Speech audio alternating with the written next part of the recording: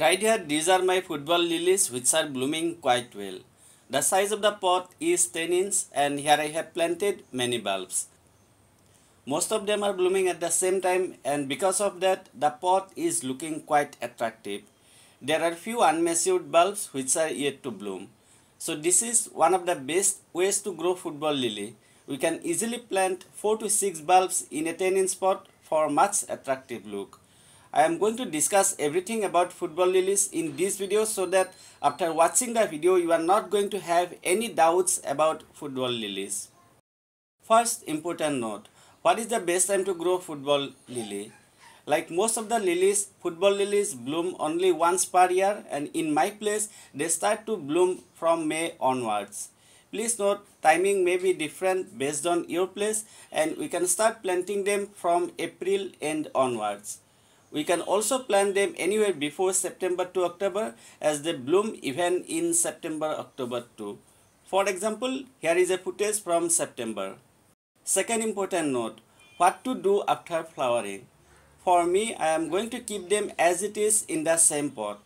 You can also repot them in a bigger pot so that they can produce more new bulbs. Here is one footage after 12 days. As you can see, the blooms are already spent.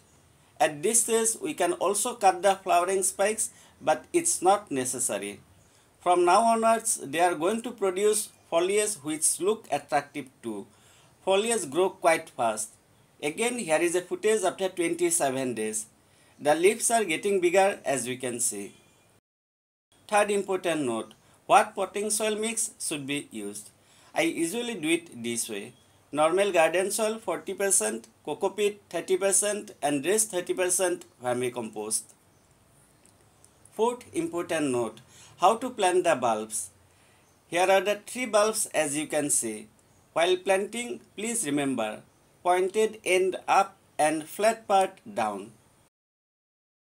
Also keep the soil line to the neck of the bulbs. That's it, quite easy and straightforward. Fifth important note, what about the sunlight? Filtered sunlight is preferred and when they start to bloom, please protect them from direct sunlight at any cost or else flowers are going to wilt very soon. But at this stage, if we provide either filtered sunlight or even direct sunlight for 2 to 3 hours, it's okay. In fact, indirect sunlight would be also okay. Next important note, is this really important to dig out the bulbs in dormancy time means in winter? In winter, foliage are going to die something like this. At this time, if you like, you can dig out the bulbs and store them for the next year. If you do, please be very careful. The roots are poisonous. Here is how you can store the bulbs for the next year.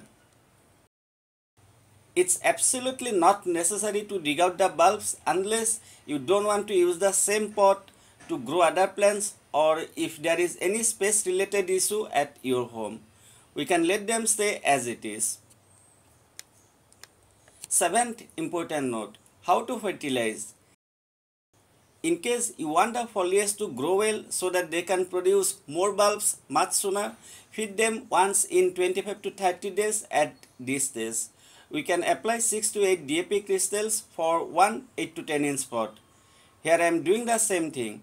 Instead of this, we can also apply 50 to 70 grams vermicompost once a month. Please note any balanced fertilizer is okay. But if you grow like this pot, means growing lots of bulbs in a single pot, there is no need to feed them too frequently and feeding them once in 3 to 4 months is fine. This is the same thing I have been doing for this pot. But like I said earlier, you can obviously shift them to a much larger pot and feed them on regular basis. Or else you can also divide them and grow in 2 to 3 different pots. Please note there is no need to feed them in dormancy time, means in winter. 8 important note, how frequently should we water? During the growth, water only when the topsoil looks dry. Please avoid keeping the soil too wet or else bulbs might rot. In dormancy time, if we water once in 30 to 40 days, it's more than enough. If they are planted in ground, no need to do anything at all. Football lilies are really great, But sad thing about them is that the bloom lasts only for few days. In case you want to grow lilies that bloom non-stop in summer, you can try growing rain lilies or even day lilies. Day lilies bloom only once per year but blooms last for many days. And rain lilies bloom non-stop till December. For more info, please feel free to check out my next video. I hope you found this video useful and if you did, I would really appreciate if you give it a like, share it with your friends and subscribe to my channel if you are new to gardening upbeat. Thank you so much for watching, really appreciate it, take care and enjoy.